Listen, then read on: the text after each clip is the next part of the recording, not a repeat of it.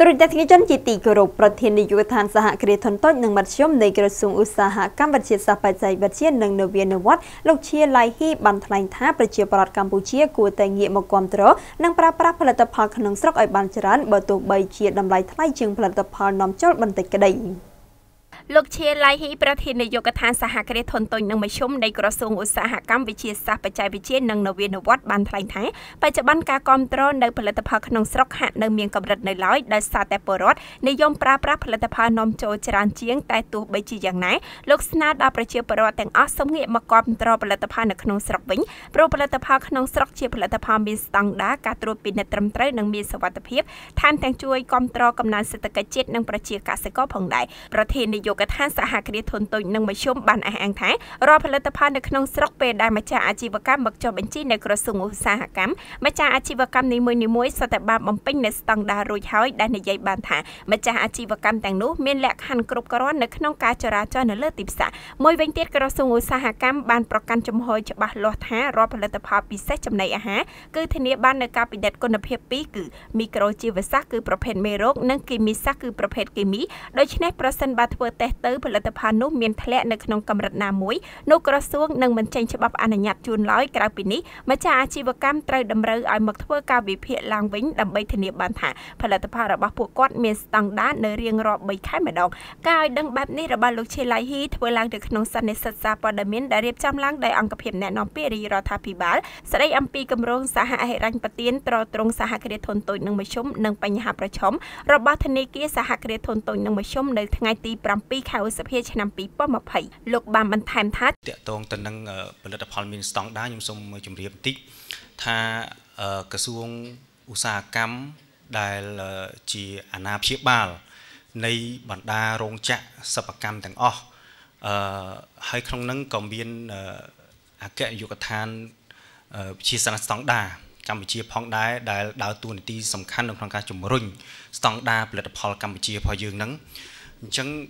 ដូចអស់លោកបានឃើញស្រាប់ហើយដែលលោកអញ្ញាបានយកផលិតផលដែលយកមកចែកជូននៅនេះគឺសិតតែជាផលិតផលដែលមានស្តង់ដារទាំងអស់យើង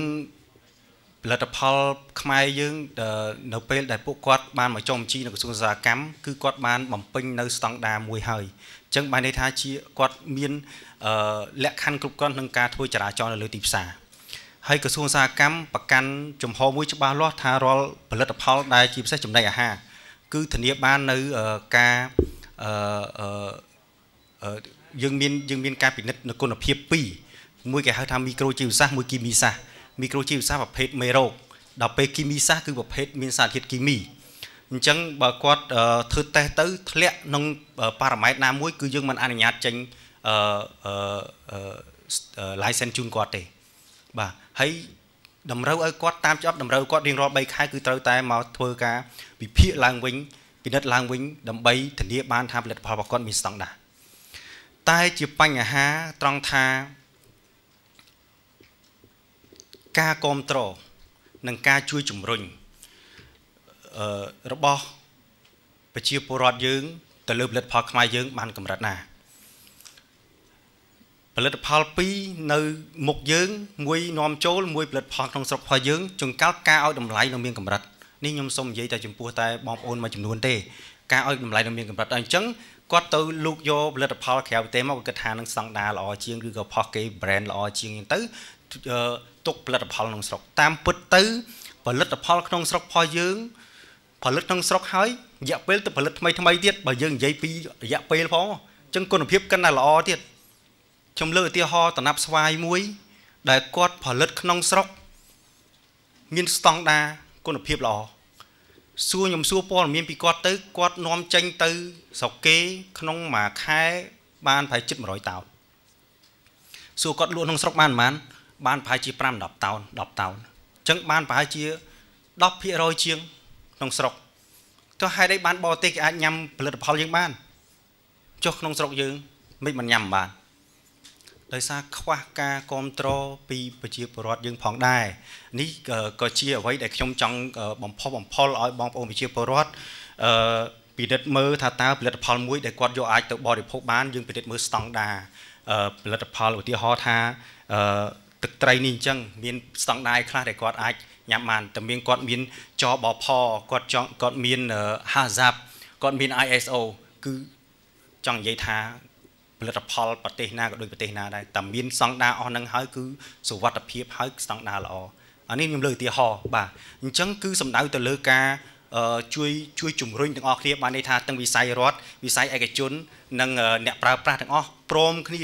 យើងមើលផលិតផលណាដែលយើងមានស្តង់ដារយើងជួយលើកតម្កើងគ្នាជួយផ្សព្វផ្សាយឲ្យគ្នាជាពិសេសបងប្អូនខាងមេឌៀនឹងជួយជំរុញបន្ថែមទៀត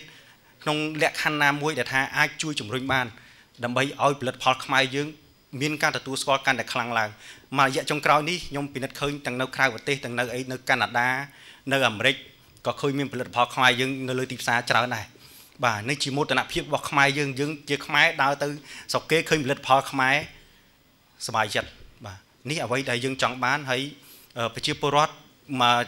ខ្ញុំទទួលស្គាល់ថា4ដល់20ឆ្នាំមុនដោយសារតែកង្វះនៅព័ត៌មានផ្ដល់នៅព័ត៌មានអំពី បញ្ហាស្តង់ដារផលិតផលផ្សេងផ្សេងគាត់នៅមានការស្ទាក់ស្ទើរនៅក្នុងការទទួលយកផលិតផលខ្មែរយើងទៅប្រើប្រាស់ប៉ុន្តែឥឡូវនេះអឺយើងមានតាំងពីក្រមការងារដើម្បីទៅត្រួតពិនិត្យអឺ ទៅ verify ស្តង់ដារនឹងឡើងវិញឲ្យអស់ហើយអញ្ចឹងទៅហើយអញ្ចឹងធានាបាននៅស្តង់ដារជូនពួកគាត់លោកបានបន្តថាដើម្បីឲ្យផលិតផលក្នុងស្រុកទទួលបានការគ្រប់គ្រងកាន់តែច្រើនប្រជាពលរដ្ឋគួរតែកុំសុញនឹងតម្លៃដែលខុសគ្នា1ឬ2ដុល្លារប្រសិនបើផលិតផលបរទេសតម្លៃ10ដុល្លារផលិតផលខ្មែរ11ដុល្លារប្រសិនបើអាចពិចារណាបានយើងគួរណាស់តែគ្រប់គ្រងនៅផលិតផលក្នុងស្រុកផលិតផលមានស្តង់ដារដូចគ្នាហើយអ្វីបានជាមិនប្រើប្រាស់ផលិតផលក្នុងស្រុក